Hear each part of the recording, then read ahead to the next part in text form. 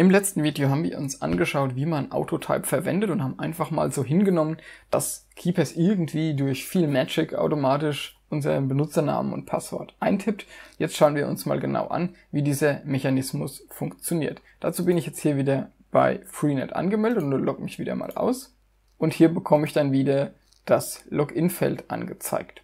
So, gleichzeitig mache ich mal hier meinen Eintrag auf, schiebe den mal ein bisschen zur Seite und öffne den nochmal. So, gehe hier ins, ins Autotype-Menü. Also, wenn wir diese Tastenkombination drücken, schaut sich KeyPass an, ob das aktive Fenster, in dem wir gerade stehen, also in dem Fall wäre das das Freenet-Fenster, ob es das irgendwie in seinen Autotype-Einträgen hat. Das sehen wir hier, wir haben es ja vorhin eingetragen in dem Video und das gleicht er im Grunde ab mit dem, was hier oben steht, oder steht auch freenet.de, also passt das zusammen. Im nächsten Schritt schaut er jetzt, was er machen muss. Also wenn ich freenet.de auswähle, sagt er Standard-Tastensequenz dieses Eintrags verwenden. Jetzt schauen wir hier, was ist die Standard-Tastensequenz? Das ist, das erbt er von der Gruppe, aber standardmäßig ist es genau das hier, Username, Tab, Passwort, Enter. Er macht also nichts anderes, als sich hier den Username zu, zu, zu suchen, den hier einzugeben. Dann drückt er Tab, das mache ich jetzt auch mal, dann, damit springt er ins nächste Feld und dann, dann trägt er das Passwort ein. Wenn wir hier nochmal bei Autotype schicken, dann holt er sich hier das Passwort raus, trägt es hier ein und drückt Enter. Das könnte ich genauso, wie es da steht, mit der Hand tippen und würde mich einloggen. KeyPass macht's halt automatisch für mich.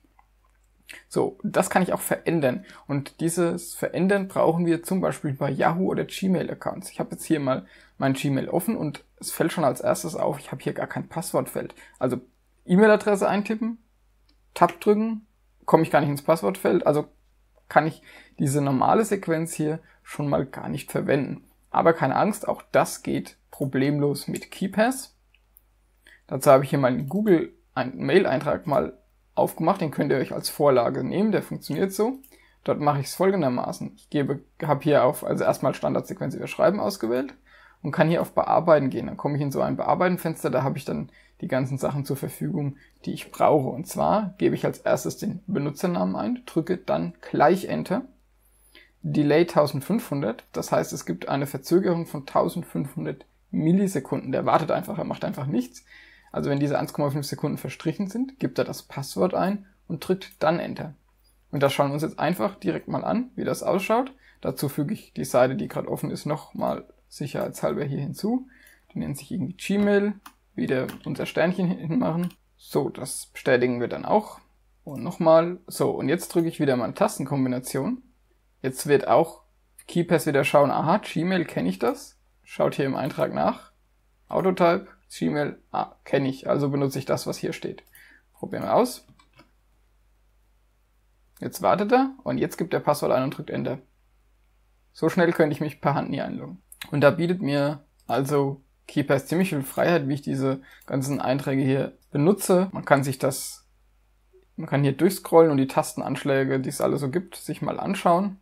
Es gibt auch von Keepers eine umfangreiche Autotype-Dokumentation, die ist auch im Video mal verlinkt, auf der wird dann wirklich alles beschrieben, natürlich auf Englisch, was es so für, für ähm, Möglichkeiten gibt, sich das Leben einfacher zu machen mit Keepers.